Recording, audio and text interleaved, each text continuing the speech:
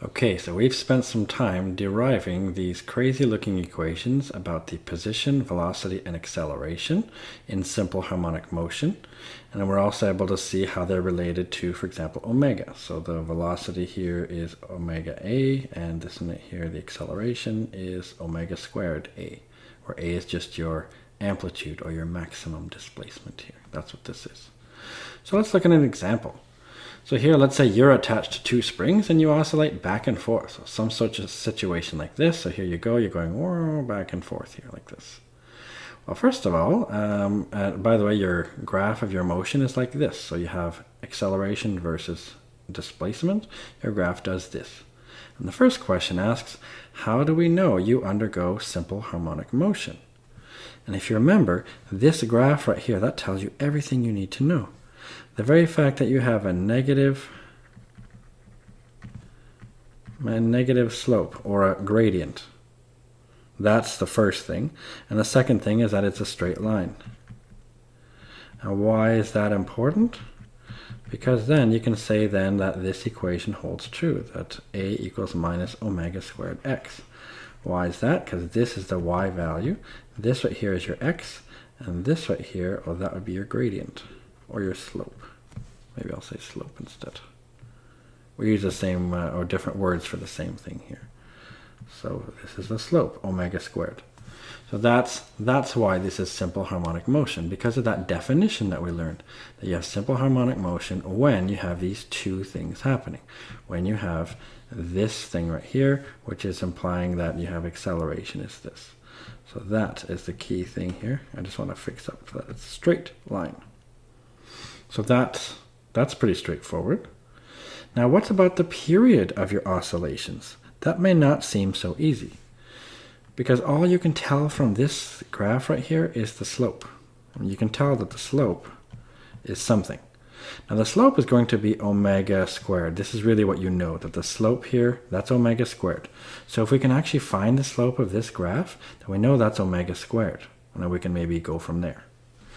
So let's actually calculate the slope. Now to do a slope, we normally pick two points on a graph and then we take the rise over run or something to that effect. So what if I pick this point right here and this point right here? So I go sort of uh, down this much and over this much. A slope is equal to, so way we calculate the gradient or slope, well it's going to be delta y over delta x. In other words, the change in y values divided by the change in x. In this case, the change in y values is, let's see, it goes from 3 to 0, so that is 3. It's actually a negative value, though. And this one right here goes from negative 12 to 0, so that means it goes over by 12. It goes sort of to the right by 12. So if you go from left to right, it goes down by 3 and to the right by 12. So that means I know that this right here is, um, well, let's get to here. I suppose what I really should have said here was that a negative slope is equal to negative omega squared.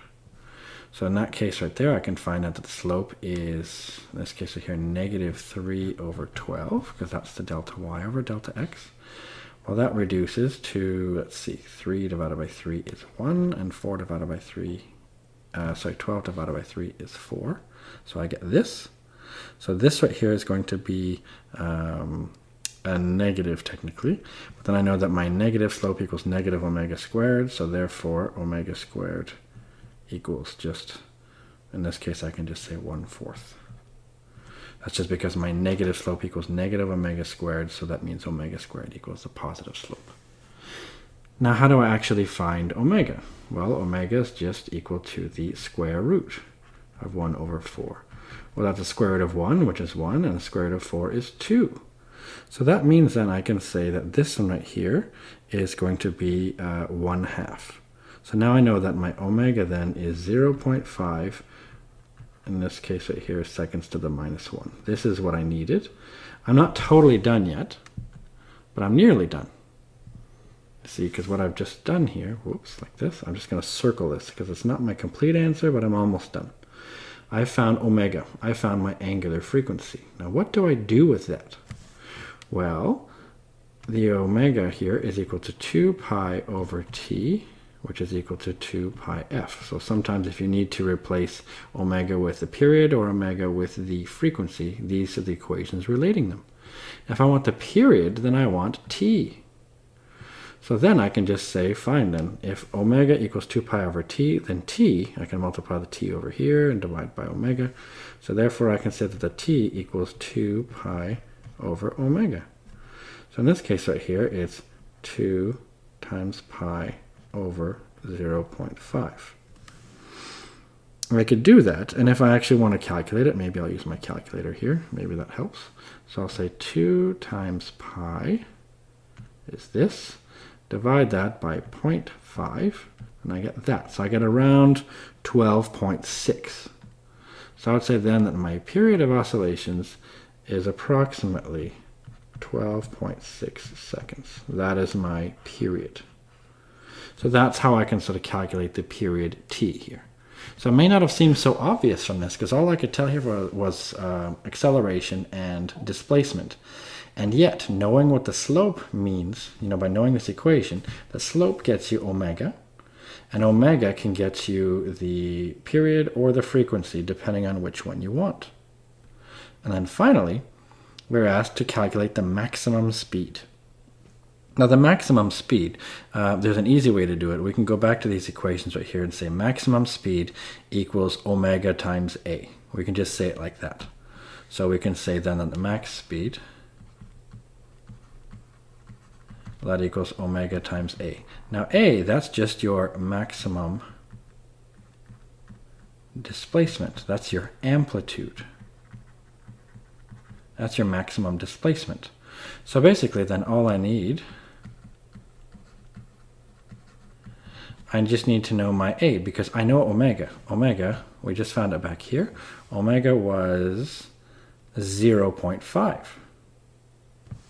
So I know that omega here is 0.5, but I need to know my maximum displacement. And this graph tells me my maximum displacement. Look, my displacement, which is x here, it can go from 0 all the way up to a value of 12 or back again. Or you can say it goes from negative 12. So my maximum displacement here is actually 12. Because of that, I can say 12 times 0.5. And that means then that I have a value of 6 then, because 12 times 0.5, that's equal to 6, so meters per second. So that's my maximum speed. So I hope that shows you that you can actually, by knowing about these equations, but especially most importantly, knowing about this main equation here, that your acceleration is equal to minus omega squared x. By knowing about that, you can actually solve all sorts of crazy looking situations here.